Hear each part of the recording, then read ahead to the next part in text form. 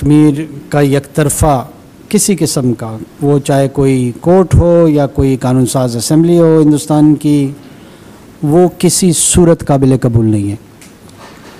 और न उसकी कोई अहमियत है।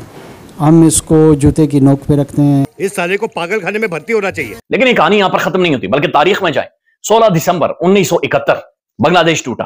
पाकिस्तान दो लख्त हुआ हमारा एक बाजू कट गया हमारा एक एक साइड पूरी हमारी काट कर लेकर गया भारत। क्या बात कर रहे हैं बाबा? ला इलाहा इल्लल्लाह। अब आप यकीन करें कि ये बिल्कुल ऐसा लगा कि अभी के अभी आके कोई फट जाएगा। अब आपको पता है ना कि आके इसी तरीके से फटते हैं। ये इनको समझ में नहीं आ, आता कि जिस तरीके से आप पॉलिटिक्स खेलते हैं वो ना सिर्फ़ माशरत को असरअंदाज होती है बल्कि उससे आपके मुल्क की इकतसादियात भी असरअंदाज होती है। पाकिस्तान उस लिस्ट में आता है जहाँ सोशल जंग हो सकती है या होती है। पाकिस्तान तो वो जब तक उन अपने तमाम लोगों की मतलब तमाम आबादी तक इंटरनेट पहुंचाएगा ना सोशल वॉर के लिए तब तक इंडिया जंग करके जीत के फतेह के ट्रॉफी गले डाल के निकल चुका होगा। आप बलूचिस्तान को ले लें और खैबर पख्तूनख्वा को ले लें वहाँ पे इंसर्जेंसी के levels are higher than in Kashmir today 2023 में पूरे साल भर में उतने इंडियन फौजी इंसर्जेंसी में मारे नहीं गए कश्मीर में, जितना आपका इस हफ़्ते मारे गए। हम अपने आप को कहते हैं कि बड़ी डेमोक्रेसी है। आप इतनी बड़ी डेमोक्रेसी है कि आपका जो सबसे बड़ा सूबा पंजाब है, वहाँ पे आप इलेक्शन नहीं करवा पा रहे यार। कभी आप कहते हो हमारे सिक्योरिटी के मसाइल, अभी देखें, अगर आप जो है वो अपने मुल्क के अंदर इलेक्शन नहीं करवा पा रहे तो आप 300 जंगे लड़ लेंगे। एक इलेक्शन करवाने के लिए आपको सिक्योरिटी नहीं आपकी पूरी हो रही। तो इस हालात इन हालात में मैंने हमने जंगे लड़नी है वो भी 300 रियाई खान दहशत गर्दी में मुलविस अफगानियों की। पाकिस्तान ने मुतालबा किया है कि उन्हें पाकिस्तान के हवाले किया जाए। दूसरी सूरत में उन्हें अफ़गानिस्तान में घुस कर मारने पर भी गौर किया जा रहा है। मस्त जोक मारा इस सूरत हाल में आर्मी चीफ की अमरीकी वज़ीर दिफा ऐसी मुलाकात भी अहम है। पाकिस्तान से रिश्ता क्या? ला इलाहा इल्लल्लाह। अब आप यकीन करें कि ये बिल्कुल ऐसा लगा कि अभी के, अभी आके कोई फट जाएगा। अब आपको पता है ना कि आके इसी तरीके से फटते हैं। ये काकर साहब ने कहाँ से सीखा है? मतलब कोई ट्रेनिंग हासिल की है या इन्होंने किसी को फटते हुए देखा है? ये क्या है? तो ये इससे उनका जोश और जज्बा तो नज़र आ रहा है, लेकिन जो एक वज़ीर आज़म की जो एक मेच्योरिटी होती है, लेकिन मेरा ख्याल है ये बुरी बात होगी मतलब उन्होंने तो अपना जज्बा दिखाया है। ये है वो जिहाद की तालीम। जो बहुत अच्छी अंग्रेज़ी बोलने वाले और जो वज़ीर आज़म की नशस्त पर लोग पहुँचते हैं, वो भी, यानी ये लग रहा है ना कि बकायदा डराने की कोशिश कर रहे हैं। ये है हमारा रिश्ता और ये है, चलिए, अब हम इसके पे कुछ और बोलेंगे, वो कहेंगे कि जरा कुछ बात जो है वो निकलेगी तो दूर तलक जाएगी तो बहुत सबसे पहले इंकार है। No the power of no no to operation ईसाई दुनिया को उस पर नज़र रखनी चाहिए, आवाज़ उठानी चाहिए। जिस अंदाज में रॉ की बेलिजरेंस वेस्टर्न और इस खत्ते की जंग इंशाल्लाह पाकिस्तान लड़ेगा। ये छोटी अकवाम की लड़ाई है, ये मुख्तलिफ़ अध्ययन की लड़ाई है, ये डाइवर्सिफाइड ग्रुप्स की लड़ाई है। ये मोनोस्टिक कल्चरल हेजबनी जो साउथ एशिया में चाहते हैं खाब है। आरएसएस की सुबह की पीटी से ये खाब पूरे नहीं होंगे। जितनी फ़िज़िकल ट्रेनिंग्स करनी है, कर ले। इसके लिए रूहानी तरबियत चाहिए होती है। इसके लिए हकीकत के बुनियाद पे अकदार चाहिए होती है। इथॉस वैल्यूज़ चाहिए होती है। वो ढूंढे।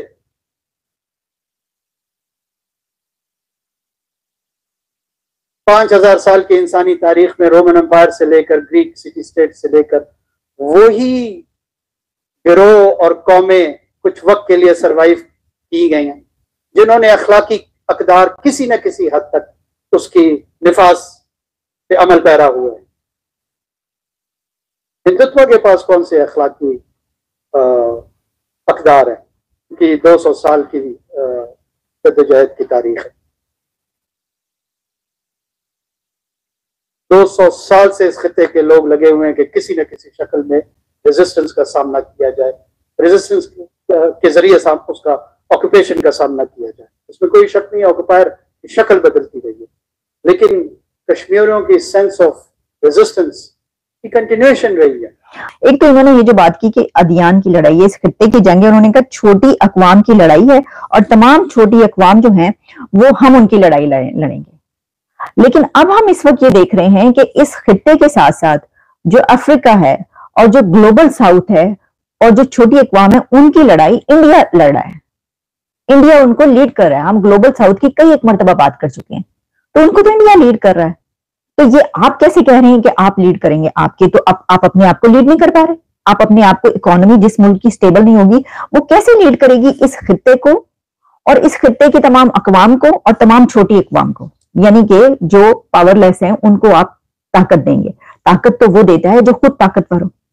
काकर साहब, मुझे इस बात की समझ नहीं आ सकी, लेकिन वो समझते अच्छा अभियान वो फिर ले आए बीच में। वो मज़हब, अभियान, जिहाद, इससे बाहर नहीं निकल रहे। आप ये देखिए क्योंकि वो उन्हें पता है ना कि ये उन लोगों के लिए कर रहे हैं जज्बाती, जोश में, आम, आवाम के लिए, मासिस के लिए। अपने बच्चे तो ज़ाहिर सभी ने बाहर ही पढ़ना है, वो सब बाहर पढ़ रहे होंगे। फिर उन्होंने कहा, जनाब, अशोका जो है ना, ब्रिटिश राज से लेकर अशोका की वो सारी उन्होंने सिविलाइजेशन की बात की है। तो उनका कौन सा खंड भारत? केड़ा खंड भारत? उन्होंने कहा ना जी, कई लोग आए यहाँ पर, उन्होंने कोशिश की बड़ी यहाँ पर करने की। तो ऐसा कोई कुछ नहीं कर सका। और फिर जो किया भी, फिर वो दोबारा बिखर गया, वगैरह वगैरह तो ये नहीं हो सकता। और फिर वो कहते हैं कि पाकिस्तान जितना भी कमज़ोर हो हिंदुस्तान के सामने सरेंडर नहीं करेगा। कभी किया आज तक तो क्यों करेगा आप? कभी देख लें sixty five seventy one Kargil और उसके बाद जितनी भी, चार, पाँच जितनी भी हुई हैं, कभी किया सरेंडर तो अब कैसे करेगा? अजीब बात करिए, बताने की बात ही नहीं है सर ये। और फिर जनाब वो ये कह रहे हैं कि मुजफ्फराबाद जो है वो गजा नहीं है और दिल्ली जो है तलबीब नहीं है। समझ गए आप? वो गजा से उसको उन्होंने मिला दिया है। और फिर उसके बाद उन्होंने कहा कि जो पुलवामा के बाद क्या हुआ था? सवाल किया। उन्होंने कहा पुलवामा के बाद क्या हुआ था? फिर वो भूल गए, उन्होंने कहा, पुलवामा के बाद। वो हाँ फिर वो आए थे, वो जहाज़ आए थे और कुछ गिराया था, लेकिन वो आपने देखा था। फिर अभिनंदन का क्या हुआ? अभिनंदन फिर आपने अभिनंदन की वापसी देखी थी?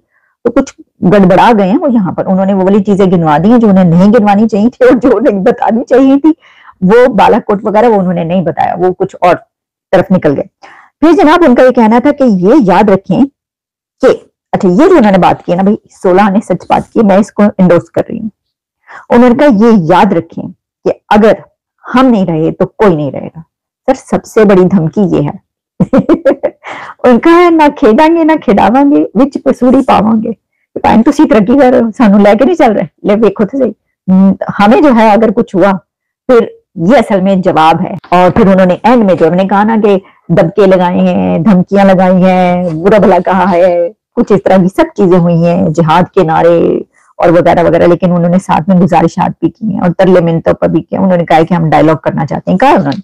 उन्होंने कहा कि पाकिस्तान असल मसाइल पर बात करने को तैयार है। इससे पहले भी आपने सुना एक जगह पर उन्होंने कहा कि आए मैं हम तैयार हैं, बैठकर मिलकर बात करते हैं। फिर उन्होंने जो है वो ये कहा है कि हम जो है वो एक इंच आज़ाद कश्मीर का एक इंच नहीं देंगे। ये उन्होंने जवाब दिया, उन्होंने ये कहा है। और फिर ये भी कहा कि हम जंग नहीं चाहते। हम यही, हम जंग नहीं चाहते, लेकिन हम गिलगित बल्तिस्तान और आज़ाद कश्मीर का एक इंच भी नहीं लेंगे तो सर, मैं अगर इसको समप करूँ तो वो ये है कि भूखे नंगे की धमकियाँ। भूखे नंगे लोग जब धमकियाँ ने तो यही सिचुएशन होती है। इसकी वजह ये है कि देखिए, भूखे नंगे है ने असी मतलब इसमें तो कोई गल ही नहीं, सबको पता है। तो ऐसी सिचुएशन में आप क्या दुनिया क्या कहेगी इसके ऊपर? लोग क्या सोचेंगे? लेकिन उन्होंने कहा कि पाकिस्तान को तरक्की से कोई नहीं रोक सकता। तो मैं सिर्फ़ एक आखिर में बात करना चाहूँ पाकिस्तान को बिल्कुल सच कहा है वजी आज़म साहब ने। पाकिस्तान को तरक्की से कोई नहीं रोक सकता सिवाय अपने पाकिस्तान के। कोई नहीं रोक रहा, कोई जंग के लिए आमादा नहीं है। इंडिया बहुत बड़ी ताकत बन रहा है। उसको जंग की ज़रूरत ही नहीं है। अब ये बच्चे बच्चे को पता है, सबको पता है। अगर आप ये चूरन बेचने की कोशिश करेंगे कि उस तरफ़ से जंग होगी और हम जंग करेंगे तो ऐसी कोई बात नहीं है। और जंग जो है, वो जब खाली हाथ हो जाए यहाँ पर कुछ ना बचे तो फिर आप कहते पचहत्तर साल हम घास खाएँगे, हम हज़ार साल घास खाएँगे। तो फिर घास ही खाती है कौम। और यही सोच है। तो पाकिस्तान को तरक्की से कोई नहीं रोक सकता सिवाय खुद पाकिस्तान के। सर आप इसका कोई हल निकलता हुआ देख रहे हैं? इतने अरसे से ये अरसा तो अरसा बहुत ही अरसा कैसे ये हल ही नहीं निकला। देखिए सेवेंटी फाइव ईयर्स हो गए सेवेंटी सेवन कितने साल हो गए आज़ादी को। हम्म। पाकिस्तान एक किस्म से अपनी वजूद का मकसद कश्मीर बना लिया है। एंड जो बैलेंस ऑफ़ पावर है इंडिया और पाकिस्तान के बीच में वो बढ़ता ही जा रहा है दिन ब दिन। फिजिक इकोनॉमिक ताकत और जो ये जो चेंजेस आए हैं कश्मीर में जो कॉन्स्टिट्यूशनली उसमें कई चीज़ें बदल जाएँगी। फॉर एग्जांपल कि I I think there will be more business investments already हज़ारों लाखों टूरिस्ट पिछले एक साल में जा चुके हैं कश्मीर इंडिया से। अगर आप जाके देखें it is historically high I am not very sure कि शायद नंबर वो करोड़ में चला गया है। जो टूरिस्ट डोमेस्टिक टूरिस्ट जा रहे हैं कश्मीर, उससे एक तो एक इंटीग्रेशन बढ़ जाता है स्टेट का।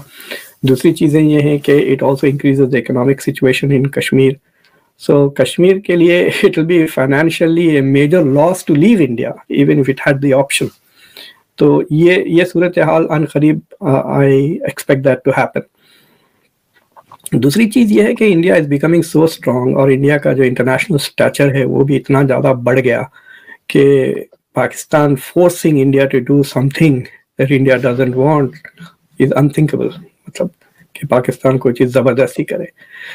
और तीसरी चीज़ ये है, खुद पाकिस्तान इतना फ्रैजाइल हो गया है। चार तो आपके प्रोविंस है। चार प्रोविंस में दो रोज़ाना मुझे लग रहा है कि दे आर अगर आप बलूचिस्तान को ले लें और खैबर पख्तूनख्वा को ले लें, वहाँ पे इंसर्जेंसी के levels are higher than in Kashmir today पूरे साल भर में 2023 में, पूरे साल भर में उतने इंडियन फौजी इंसर्जेंसी में मारे नहीं गए कश्मीर में, जितना आपका इस हफ़्ते मारे गए। खैबर पख्तूनख्वा में कितने 23 को मारा ना उन्होंने वहाँ पर, फिर उससे पहले आप बलूचिस्तान को ले लें। आप दिसंबर में ले लें, जितने नवंबर, दिसंबर में आपके पास जो दो मेजर इवेंट्स हुए हैं in two fifty percent of Pakistan ऐसा अब एक किस्म से एक सेपरेटिस्ट मूवमेंट से मूव हो रहा है।